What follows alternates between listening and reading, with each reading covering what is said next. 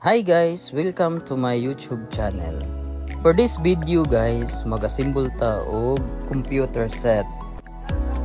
Muna itong motherboard guys, Gigabyte H510 MH.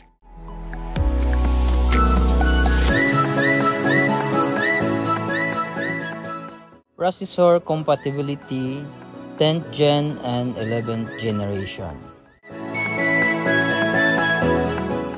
Ating processors guys, Core i3 10th generation.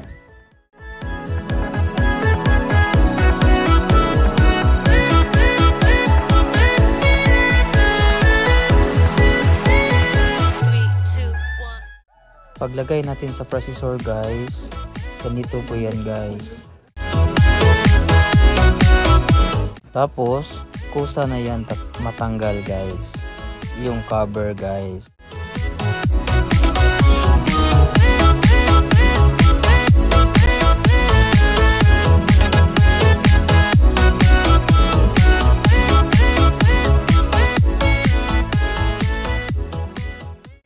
Tapos guys, ilagay na natin yung heatsink.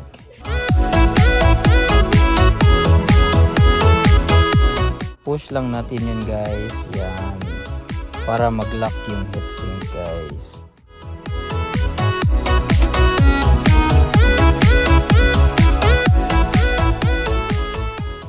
Itong cable guys, ilagay natin to sa motherboard.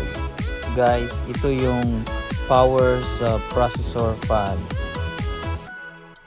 Ito naman yung memory natin guys. 8 gb RAM. Frequency guys 266. Kingston Fury.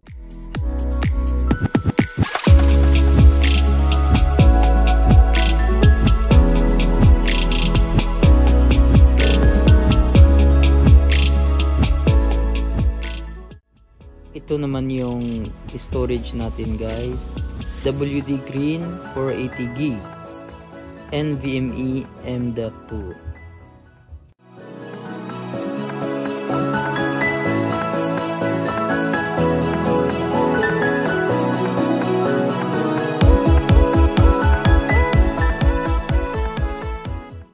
ito naman yung casing natin guys. Montech brand X1 model. May kasama tong tatlo na fan guys. Tsaka RGB na din guys. Ito naman yung power supply natin guys. Trendy yung brand. Tsaka 650 watts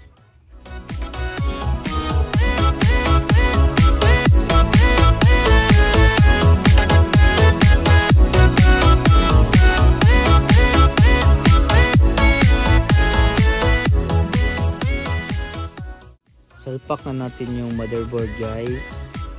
Sa magandang casing natin guys. Lagyan na natin tong screw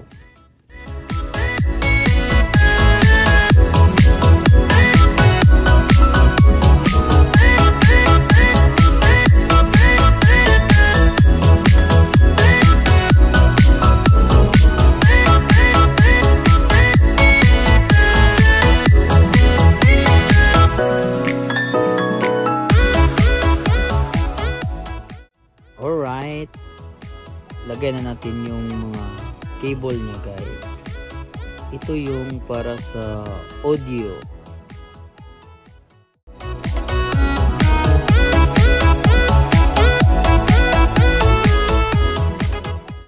Uh, ito naman yung sa USB natin guys na 2.0.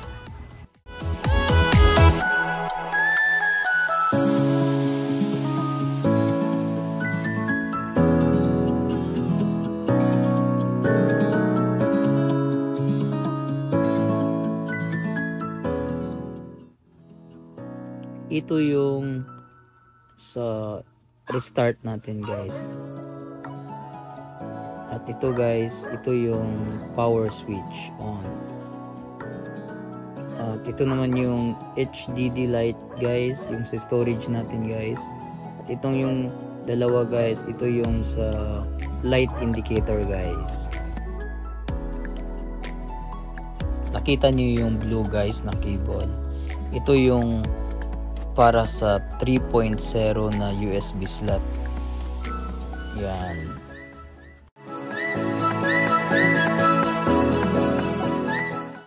Itong cable naman guys ito yung 24 pins na galing sa power supply natin guys papuntang motherboard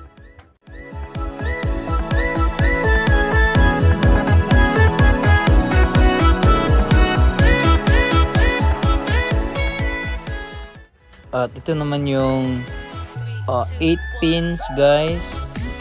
Galing din sa power supply para po ito sa supply ng ating processor.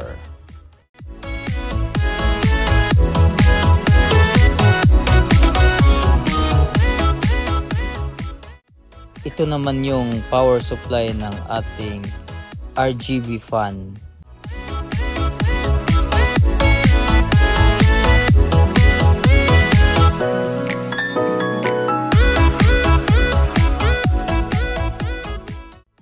Alright guys, tapos na natin ilagay yung mga parts. Ibalik na natin yung tempered glass.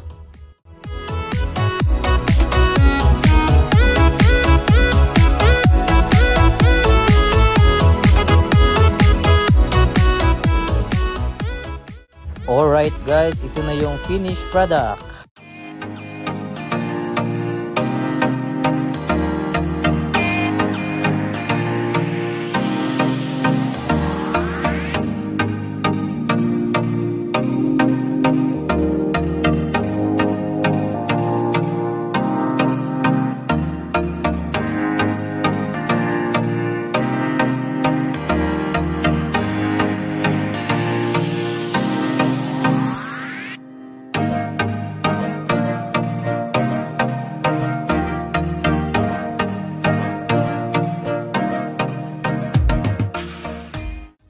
Shout out po kay ma'am. Siya po ang may-ari ng PC.